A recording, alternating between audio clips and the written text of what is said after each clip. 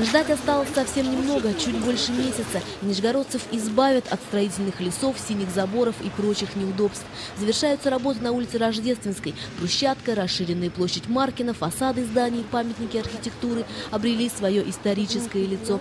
Сохранению культурного наследия правительство уделяет особое внимание. С 2006 года количество отреставрированных объектов возросло в разы. Вот нижегородцы и называют по старой памяти Рождественскую Маяковкой. От недавнего прошлого улица будет отличаться значительно. Так я, конечно, очень редко где наверху города бываю. Но вот сегодня появилась на Маяковке, так здорово, прям хорошо, прям сердце радуется. Но все-таки это наша история, это наша старина. Сейчас очень много всяких торговых центров новых появилось. Мне кажется, вот лучше все старинное такое все восстанавливать, чем вот эти все торговые центры ставить. Надо восстанавливать, надо, но чтобы они сочетались.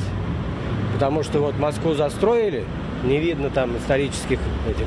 Это не дело. Должны исторические здания быть и современные, но чтобы они были как-то сочетались и были в комплексе. Зачатевскую башню тоже готовят к открытию. Уже 20 октября Кремль приобретет свои исторические черты. Облик башни восстановили по фотографиям и записям в архивах. Внешне она ничем не отличается от строения 16 века. Лишь внутри было решено сделать башню удобнее для туристов. Это дополнительная лестница и несколько площадок под музеи. Согласно проекту, часть находок будет находиться внутри Зачатевской башни, часть под стеклянным куполом, примыкающим к стене. И важно, теперь Кремлю не страшны природные катаклизмы. Гарантии мы даем. Мы перехватили воду с горы, две, две дренажные системы. Одна, вот мы стоим как раз на, на третьей дренажной системе. Э, коллектор, все выходит в коллектор, который на Нижневолжскую набережную. Э, мы ну не мы, а проектировщики предусмотрели, что эта башня стоит на фундаменте, э, на таком буронавьевных сваях.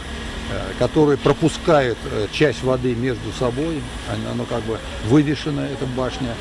В Нижегородской области насчитывается более трех тысяч объектов культурного наследия. Все знаковые сооружения реставрируются, и новых, не менее значимых строится много. Валерий Шанцев инспектирует IT-парк в Анкудиновке. Из всех регионов ПФО Сбербанк России выбрал именно нашу область и наши кадры. Здесь будет уникальный центр сопровождения клиентских операций.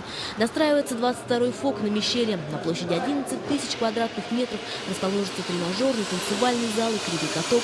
Строительство укладывается в график. Вот его сдадут и другие объекты.